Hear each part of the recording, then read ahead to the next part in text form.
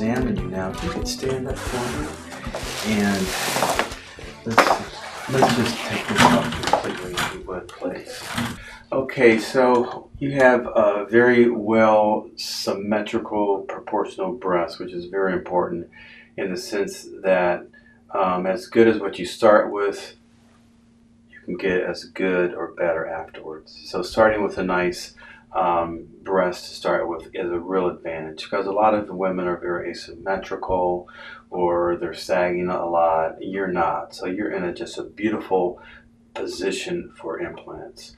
Um, you don't have any stretch marks per se.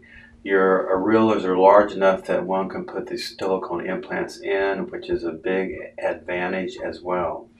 So I think that um, the width of your um, breath can accept a fairly good sized implant. So I think um, looking at a CD um, would be, you know, appropriate and it will look natural Okay. just based on the width of your breasts. Um, the incision will be right around here. Okay. It will be at the edge of the dark and the light area, and uh, and so that should heal extremely well. Um, let me draw on you um, where we would have where in preparation for surgery. This is our, our inframammary line, and we want our implant to not go really past here.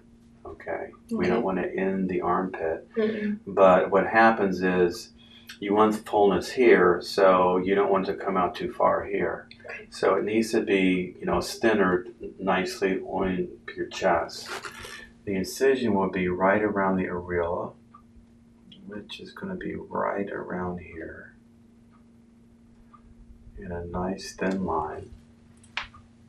Again, so the implant should not come past this line. This is the, the base of your breast, and the implant should not go lower Okay. in your case. Put that here.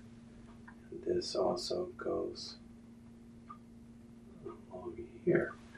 And then if we draw a straight line here, we'll dissect to about right here.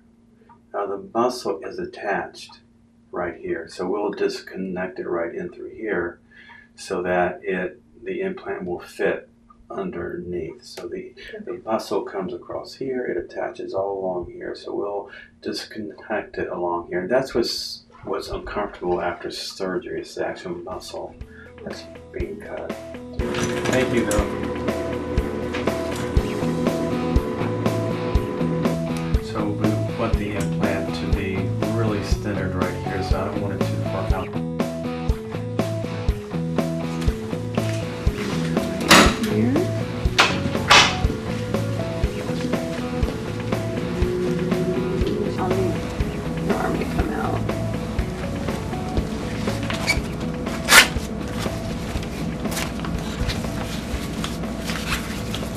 Was the last time you had anything to eat or drink? Uh, last night at nine o'clock, I had drank some water. And uh, food at the same time? I ate dinner about seven, seven thirty. Okay. Vital signs look good.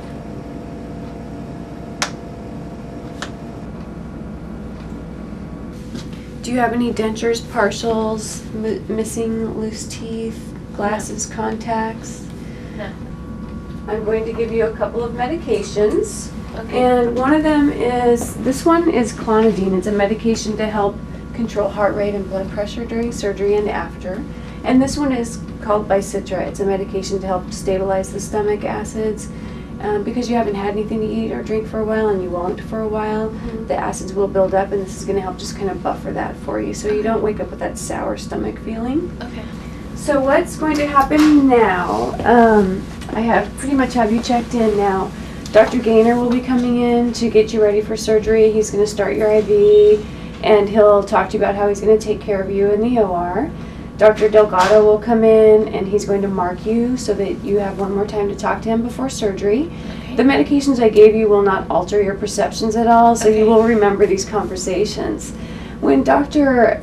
Delgado is finished, Dr. Gaynor will come back and he and I will do a surgical pause or timeout with you. And what that means is I'm going to ask you your name and what surgery you're having today Okay. and what size implant you're having placed. Do you know what surgery you're having today? Yes.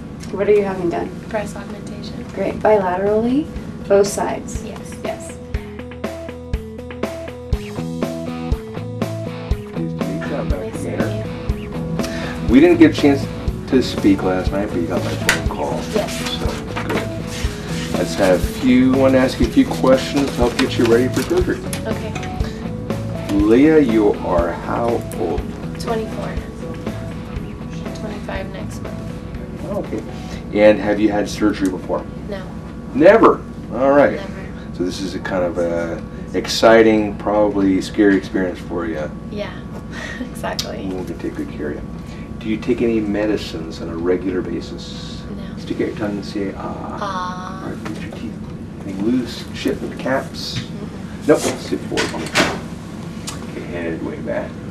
Forward. Put your chin in your chest. Yeah. And side to side. No stiffness here. But just breathe regularly. Good. All right. What's going to happen is I'm going to put an IV in the back of your hand. This Okay. one. You can fist hold it.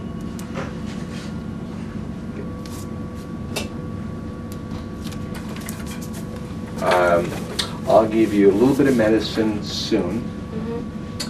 Uh, we'll have you walk to the bathroom and kind of just start out with an empty bladder. Okay. Okay. I know you didn't have anything this morning, but you know you're getting a little bit of fluid now. So, you know you'll probably you may have a little bit. If you don't, that's fine. You know, but would like to start out with an empty bladder. Then we'll walk you into the room, Okay. which is right over here. Lie on the table, and I'll put monitors. I'll put a blood pressure cuff on your arm, EKG pads to watch your heartbeat, little probe on your fingertip to watch your breathing, Okay. And no more shots. All the medicine goes through here. Okay. So no more shots. I'll give you some medicine through here, which will make you go to sleep. Okay. When you're asleep, put a breathing tube in the back of your mouth. Uh, you won't know down? about it because you'll be asleep. Okay. But when you wake up, sometimes people have a little bit of a sore throat in the breathing tube. Okay. About a third of the people or so have a little bit of a sore throat. If you do have that, it should go in a day or two. It shouldn't be a long-lasting thing. Okay. I tell everybody there are risks with surgery and risks